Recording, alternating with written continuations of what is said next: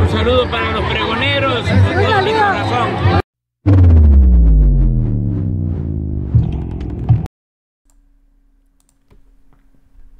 Amigos, bienvenidos a una nueva transmisión más. Es un placer estar nuevamente con ustedes. Servidor Ian Rodríguez transmitiéndoles desde su canal Pregonero Informa. Antes de irnos leyendo la información, si es de tu ayúdanos con este like, compártela para que pueda llegar a más gente y se entere de esta situación. De antemano te deseo tengas un excelente día. Nos encontramos ya a martes 14 de marzo del 2023. Si me estás viendo por primera vez, muchísimas gracias por tu tiempo y por tu espacio.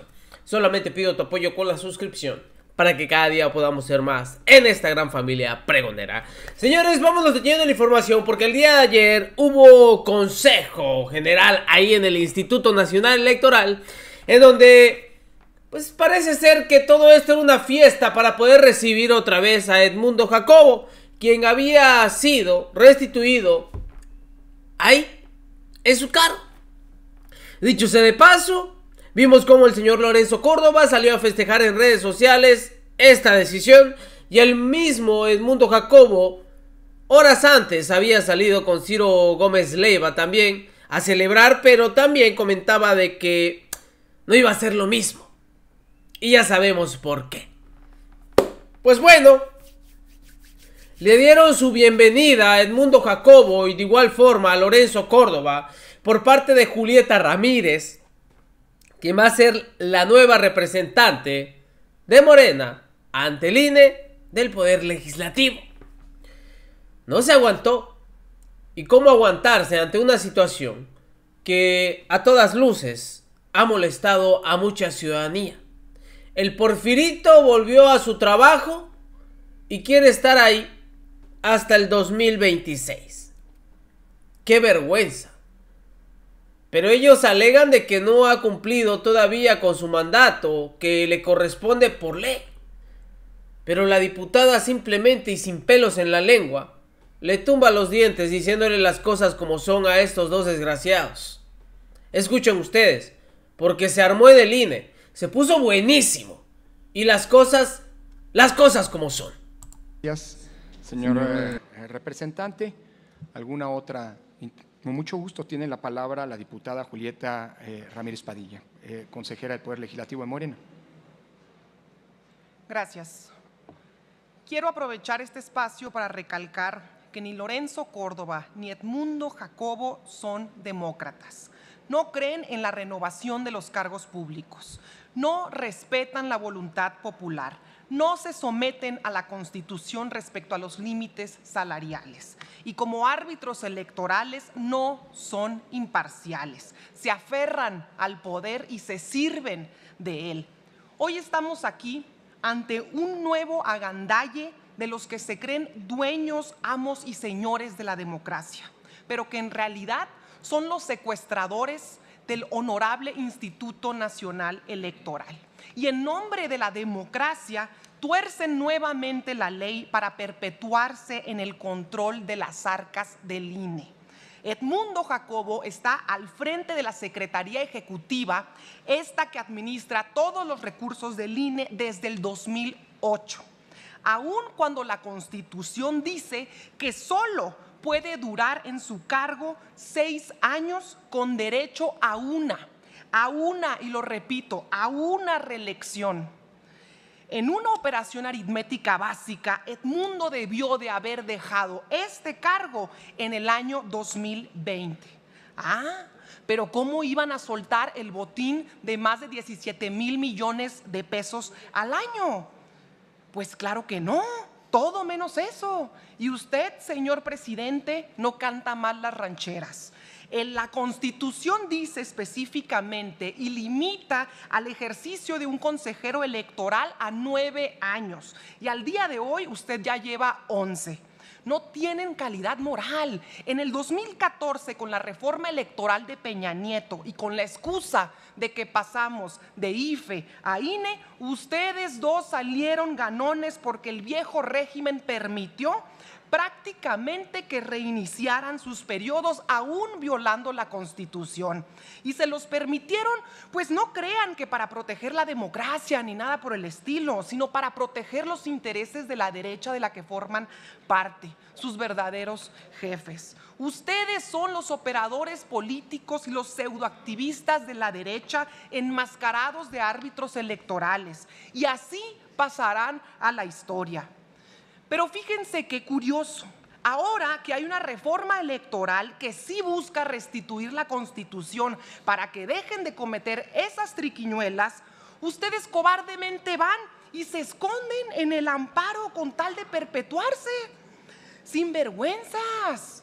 Cuando la reforma Perdón, del 2014, le voy a interrumpir para pedirle a los discúlpeme, diputada, para pedir, sí, no, pero es que para pedirle a los integrantes del Consejo que se conduzcan con respeto a los oradores, por favor. Continúe. Cuando la reforma del 2014 violaba la Constitución, ustedes no se ampararon. Ahí sí debieron hacerlo y no ahora. Y mientras tanto han sido los operadores de una sarta de mentiras sobre la reforma electoral que propone el presidente Andrés Manuel López Obrador. Con el pretexto de que la democracia está en peligro, toda la derecha, incluyéndolos, buscan descalificar las próximas elecciones que, por cierto, tienen perdidas. Solo quieren planchar el terreno para impulsar un golpe blando en conjunto con el PAN, con el PRI, con el MC y con el PRD. Pero esa cantaleta ya nos la conocemos, ya la hemos escuchado antes. Y el único y verdadero peligro para México son ustedes. Para tener calidad moral, de tachar al plan B de inconstitucional, debieron de haberse amparado en la reforma del Pacto por México de Peña Nieto en el 2014, esa que aprovecharon para ampliar su periodo. Y les guste o no les guste, el plan B es un reclamo popular. Que se bajen los sueldos es un reclamo. Que respeten la constitución es un reclamo de la gente. Que respeten el principio de austeridad es una demanda del pueblo. Que no despilfarren en comidas, en viáticos, en lavandería, en chofer, en limpieza es una exigencia. Y esa voluntad popular ustedes la han pisoteado una y otra y otra y otra y otra y otra vez. La diferencia entre nosotros y ustedes es que nosotros impulsamos una reforma por voluntad, por mandato y por aceptación popular. Y ustedes se resisten a la misma reforma solo para proteger privilegios. Y déjenme decirles que la restitución de Edmundo Jacobo es una muestra más de para quién trabaja el Poder Judicial y de cómo en el viejo régimen se protegían unos a otros.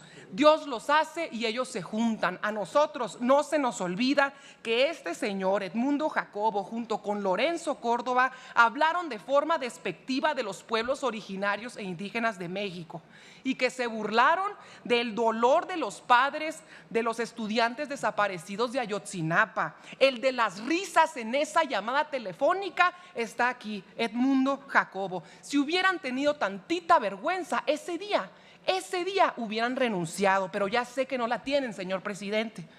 Y también este señor, Edmundo Jacobo, impugnó la ley para ganar más que el presidente, para seguir manteniendo prestaciones y privilegios como si fuera parte de esto de una corte de un rey. 262 mil pesos mensuales embolsan desde el 2008.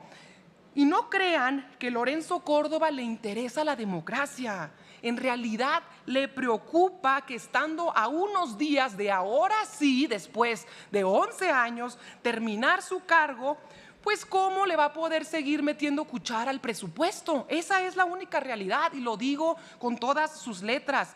Pero no se froten las manos todavía. No canten victoria. La última palabra aún no está dicha.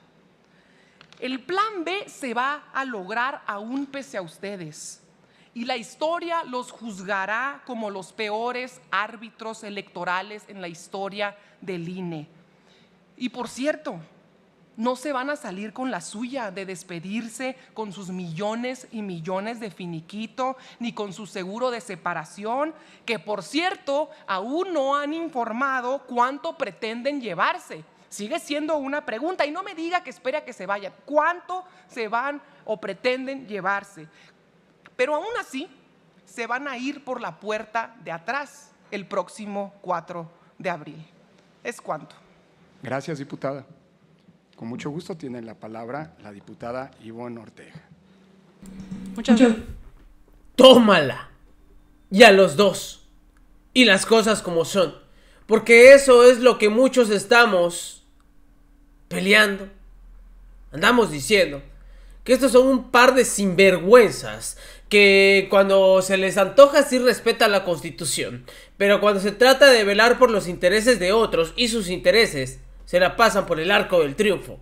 Estos miserables llevan más del tiempo establecido en la constitución. ¿Lo escucharon? Lorencito ya va para 12 de haber estado 9. El otro sinvergüenza quiere cumplir 16 y debe haber estado simplemente 12 años. Y todavía quieren festejar el hecho de que según se está respetando la voluntad del pueblo y que se está haciendo justicia al regresar a su cargo. Mis respetos para Julieta Ramírez por decírselo en su cara a estos dos sinvergüenzas. Mis respetos le arruina su bienvenida a estos rateros. Nos vemos en una siguiente emisión. Que siga pasando un bonito día. Servidor Irving Rodríguez transmitiéndoles desde su canal. Recuerde, la información está ahí y depende de todos nosotros el pregonarla. Nos vemos en una siguiente emisión.